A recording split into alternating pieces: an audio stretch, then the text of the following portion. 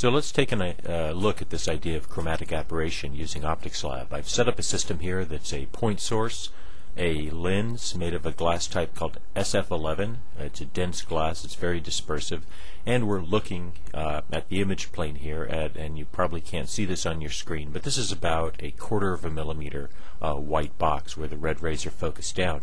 If I go ahead and right click on the source and turn on green light and blue light as well, uh, you see that the green spot is much, much bigger than the red spot, and the blue spot is, is bigger still.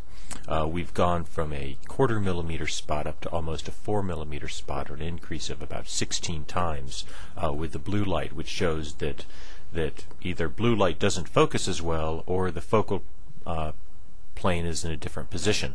So let's let's take a look at that. Let's go ahead and turn off our red light and our green light. Uh, click OK, and then uh, surely it looks like the focus is here. Let's go ahead and move our plane to the best focus. And in fact we see the blue light is focusing down to also just a little under a quarter millimeter. Uh, very very well. So chromatic aberration as you see here means that the the different colors of light have different focal points and we can see that again by turning on the red and the green light. And you can see that now as we've moved the focal plane the blue spot's very small the green spot's a little bit bigger and we have a 3 millimeter diameter spot for the red light here again a factor of about 12 uh, between this.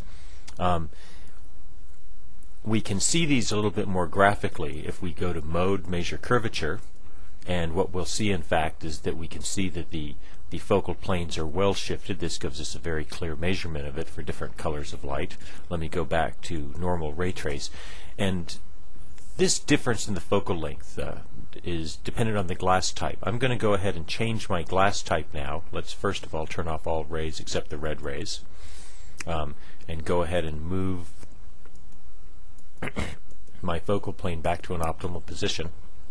I'm going to right click on this and turn my glass type from SF11, which is a very dispersive glass, to the most common glass used in high quality optics, which is known as, as BK7 and what it stands for. I really have no idea.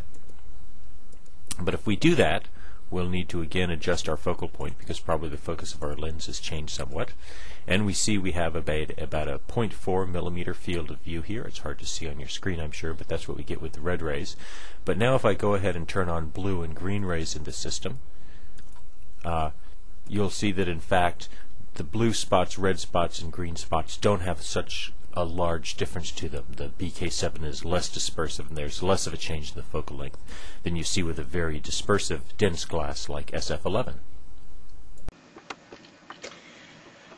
The last thing we want to talk about with chromatic aberration is the idea of an achromat. And A is Greek for not, and chroma means color. So an achromat lens is one that is not color sensitive. It's, it's formed of two types of lenses made of two types of glass which are glued together. And the issue of an achromat and the advantage of it is that it is, has much less chromatic aberration than the lens of a single, single color word. In fact, a well-designed achromat for certain wavelength ranges gives you essentially no chromatic aberration. And as you can see in this image, we have two different types of glasses represented by the two different colors of blue glass here, and that in fact as the different colors of light go through this, they focus in generally pretty much the same point. And one of the exercises we'll be doing in the classroom and as in your reading is actually the procedure by which you design an achromatic lens. And it's, it's once you understand it, it's a fairly straightforward and simple procedure. And so that's about it for chromatic aberration. We'll get into essentially how to measure aberrations in the next few lectures.